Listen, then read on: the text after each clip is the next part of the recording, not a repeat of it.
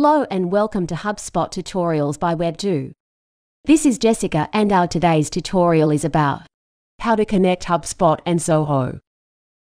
Zoho is a collection of online productivity tools encompassing a range of functions such as customer relationship management, applicant tracking, invoicing, accounting, and inventory management software.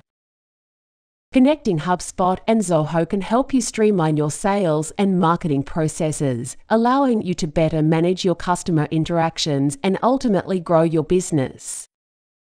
In this tutorial, we will show you how you can connect Zoho and HubSpot accounts.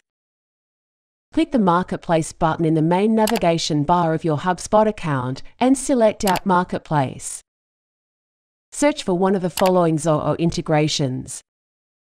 Zoho CRM, Zoho Recruit, Zoho Inventory, Zoho Books, Zoho Invoice. Click Install App in the top right corner. In the dialog box, click Next. Select the domain from the drop-down menu and click Connect to Zoho. You'll be redirected to Zoho in a new window. Review the requested permissions, then click Accept. After connecting the integration, you can specify your sync settings and map your properties. That's how you can connect HubSpot and Zoho. Thanks for watching. Feel free to ask any question in the comments section and we will be happy to answer.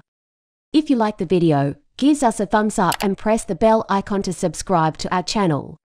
To know about our HubSpot services, visit us on www.webdew.com.